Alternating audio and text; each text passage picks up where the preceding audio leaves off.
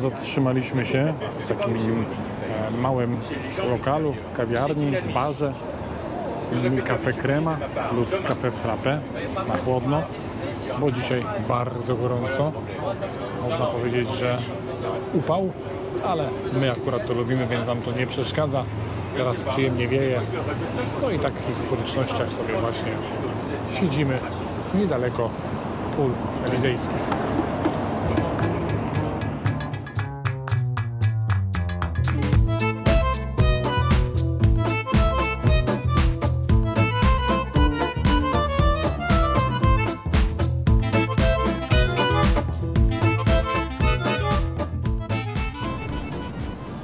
Charles de Gaulle przed Wami. A tu kolejne zabytki i remonty. Ich nie brakuje, jeśli chodzi o Paryż. Ruch spory, ale same pola elizejskie naprawdę bardzo fajne miejsce na spacer. Możemy je Wam gorąco i serdecznie polecić. Widać tutaj bogactwo kulturowe i finansowe Francji. Przed Wami Petit Palais, mam nadzieję, że to się dobrze wymawia, pewnie Petit Pałac, a tak naprawdę jest to budynek z 1900 roku, mieszczący elektroniczny zbiór dzieł sztuki z okresu od renesansu do XX wieku. A po drugiej stronie, jak już widzieliście wcześniej, to Grand Palais. Jest to miejsce, w którym odbywają się różne wydarzenia kulturowe. Są też wystawy, słynie ze swojej szklanej kopuły, ale tymczasowo jest to obiekt zamknięty. A my jeszcze pójdziemy zobaczyć tutaj most z pięknymi złotymi zdobieniami i za moment Wam o nim opowiemy. Z tego, co udało mi się wyczytać, most Aleksandra III, wybudowany pomiędzy 1896 a 1900 rokiem, był to taki pomnik, upamiętnienie przymierza rosyjsko-francuskiego z 1892 roku. Na moście, poza tymi wszystkimi pięknymi zdobieniami, zobaczycie też e, godło Imperium Rosyjskiego i herb Paryża. Tak to, moi drodzy, się prezentuje.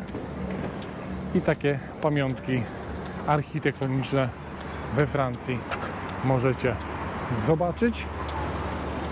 A już tam w tle, w tle coraz bardziej widać wieżę Eiffla. To tam na pewno wszyscy zmierzają.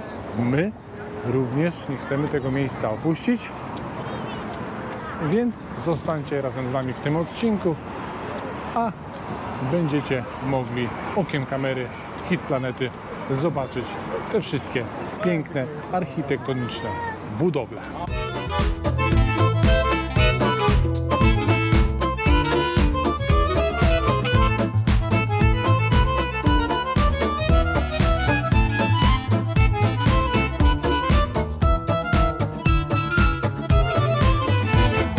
Plac Zgody po francusku będzie to Place de la Concorde.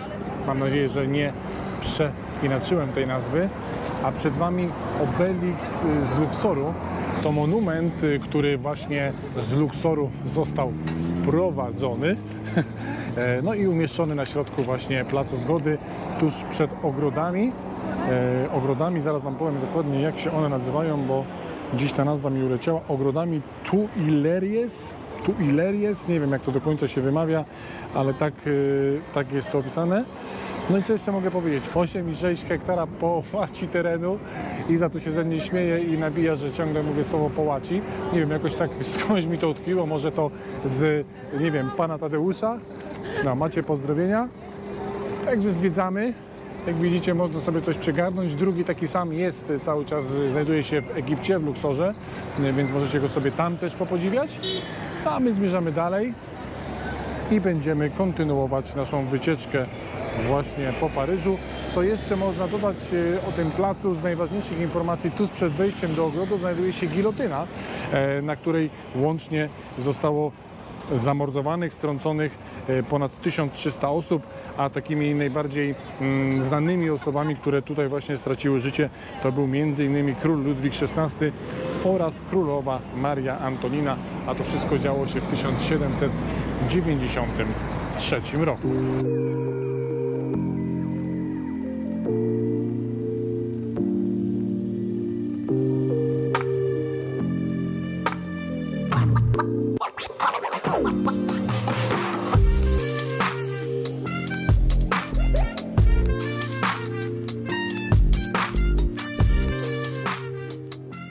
GoPro, moi kochani, tego kompletnie nie oddaje, ale z tego miejsca, czyli placu karuzeli, e, za którym też powinien znajdować się łuk triumfalny, kolejny, e, no jest w tej chwili w remoncie, więc nie muszę Wam go pokazywać, ale stąd centralnie widać wszystko. Najpierw mamy tą bramę od ogrodów, potem mamy obelisk, no i na samym końcu w oddali, w oddali ludzkie oko spokojnie łuk triumfalny e, dostrzega na placu de Gola. A tak wygląda okolica, tutaj są jakieś muzea i inne tego typu budynki, e, takie kulturowo, e, nie wiem, no, takie budynki kulturowe, e, muzealne, tak bym to nazwał. E, przepraszam za tą rękę. No a teraz już będziemy zmierzać na kolejne piękne zabytki. Jest ich tutaj dużo. Widać, że ten okres 1700, tak naprawdę 1900, kiedy większość tutaj tych obiektów powstawało, no jest w takim stanie dosyć nienaruszonym, czyli ten okres wojennej Europy dużo oszczędził e, tych budynków, no a też wiele zostało odbudowanych czy odrestaurowanych, ale te prace tutaj w Paryżu cały czas widać mocno trwają, dużo remontów, e, dużo pozamykanych jakichś przejść, parków, e, no i różnego typu architektonicznych dzieł, które gdzieś co jakiś czas są poustawiane. Czy warto tutaj przyjechać? No myślę, że tak. Jest tutaj ciekawie, ale nastawcie się naprawdę na duże tłumy, bo ruch jest jak w Paryżu. No i tuż za ogrodem waszym oczom ukazuje się słynna piramida tuż przed Louvrem. Niegdyś był to oczywiście Pałac Królewski w Paryżu, a obecnie Muzeum Sztuki, jedno z najczęściej odwiedzanych tego typu miejsc na świecie, a znajdziecie tam przekrój zabytków i pięknych dzieł sztuki od rzymskich czasów aż po Monalizę i jeszcze dzieła wcześniejsze. Tak to się prezentuje. Mam na informację na Google, że tutaj jest ruch mniejszy niż zwykle, to powiem Wam szczerze, że chyba strach pomyśleć, kiedy tutaj ruch jest normalny. E, no ale przejdziemy sobie tutaj tędy i zobaczymy, co jeszcze możemy okiem kamery Wam pokazać.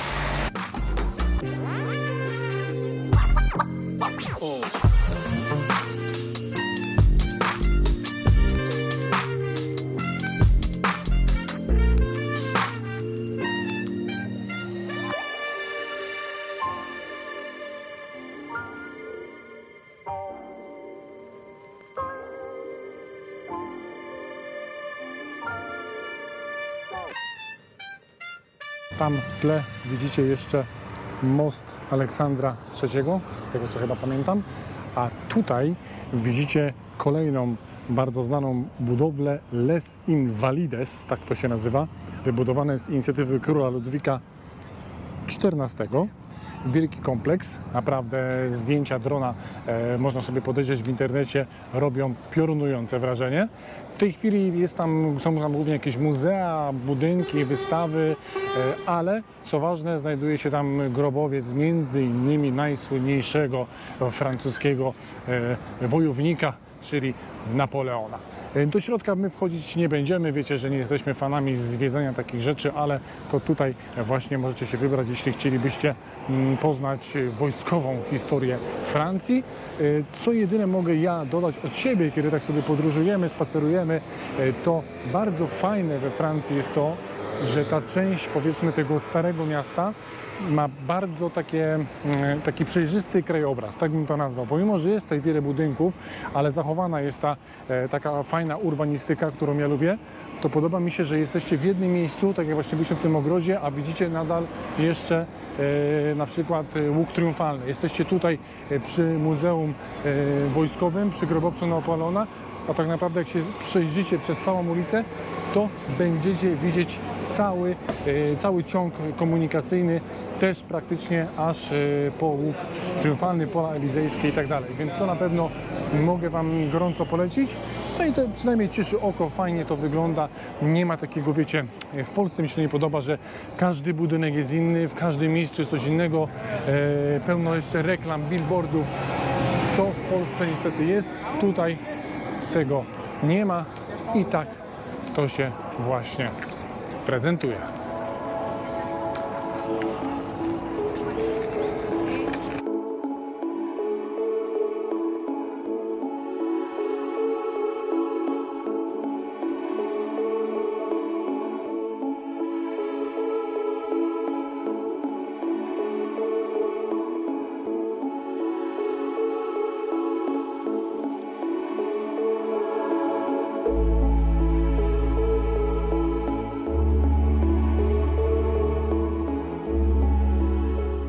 Chcieliśmy sobie upamiętnić tę chwilę, więc przy okazji nagramy ją dla Was.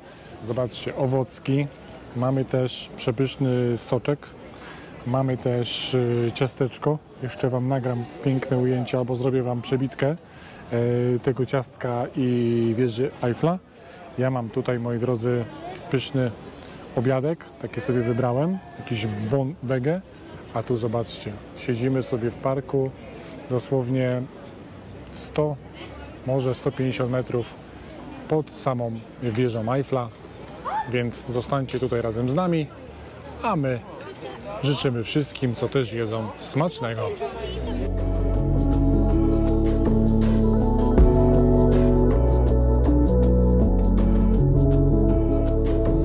Jesteśmy, moi drodzy, oto wieża Eiffla pełnej okazałości teraz dla Was. Pogoda też się zrobiła, była nawet burza, ale już po burzy zawsze wychodzi słońce. 330 metrów, można powiedzieć, wizytówka Paryża, wizytówka całej Francji. Jedyne, co mnie tak e, osobiście zdziwiło, kiedy ją pierwszy raz zobaczyłem, to miałem wrażenie, że ona powinna być taka metalowa, metaliczna, czyli taki kolor bardziej szary, tak? Ciemno-szary, e, no taki metaliczny, a ona jest cała brązowa. To takie zaskoczenie, jeśli chodzi o mnie, e, bo gdzieś tam nie wczytywałem się nigdy w jej barwy. Gdzieś jakieś tam zdjęcia, które miałem w głowie, myślałem, że ona właśnie jest takiego metalicznego koloru. Ludzi pod nią oczywiście multum. Każdy robi sobie piękne zdjęcia i ujęcia. My też na Instagramie możecie sprawdzić, jakie porobiliśmy sobie zdjęcia.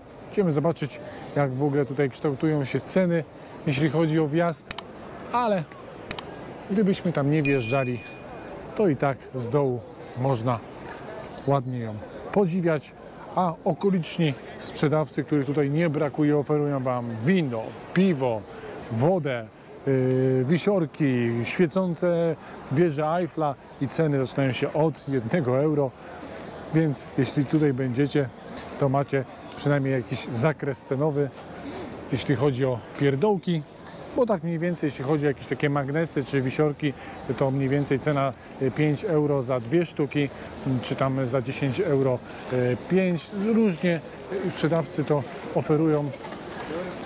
Wiadomo, że trzeba po prostu poszukać, jeśli takie rzeczy Was interesują.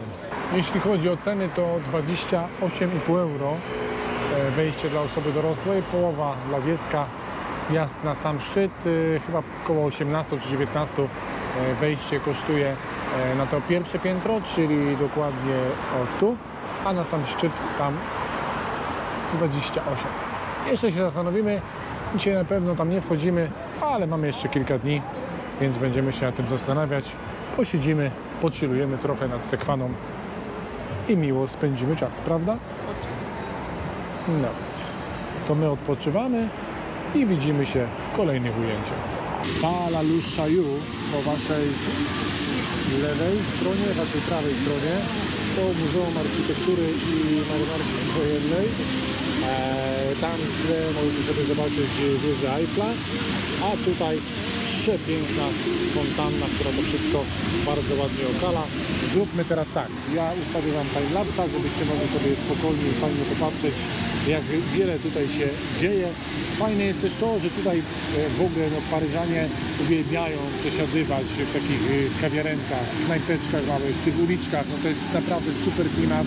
E, pachnie tam jedzeniem, takim, są takie knajpki, gdzie podchodzicie, możecie sobie wziąć, wybrać jakąś sałatkę, jakieś danie, jakąś tartę. No rewelacja. Mogę Wam to gorąco serdecznie polecić. No, thank you. No i fajne jest właśnie też to, że można sobie usiąść tak po prostu na trawce, wziąć wino, wziąć dobry ser, e, bagietkę i miło spędzać czas. My teraz też mamy właśnie taki zamiar, więc ja zostawiam Was z timelapsem, a my poodpoczywamy.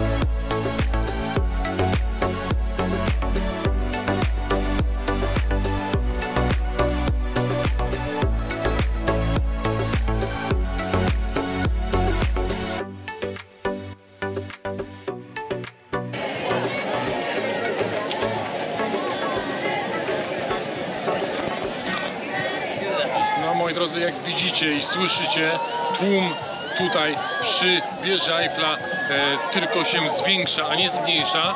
Coraz więcej ludzi. I to jest fajne właśnie, że można sobie z jednej strony posiedzieć na trawce, czy na jakiejś ławce, czy przynieść sobą krzesełka, no i po prostu miło spędzić weekend, bo dzisiaj przypominam, mamy sobotę, więc Francja imprezuje.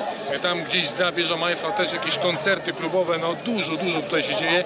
Mega hałas, my sobie posiedzieliśmy, e, co widzieliście na timelapsie, e, nad Sekwaną. Super miejsce, można naprawdę się wychillować.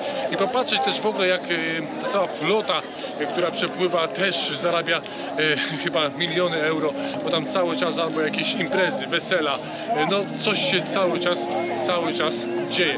Dobrze moi drodzy, zmierzamy w takim bądź razie dalej i wracamy już do naszego miejsca noclegowego. Jesteśmy trochę zmęczeni, długi dzień, a tutaj zobaczcie sobie na schodach jeszcze koncert.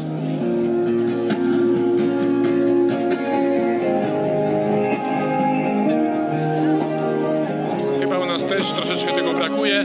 Może kiedyś tak będzie, bo kiedyś tak było.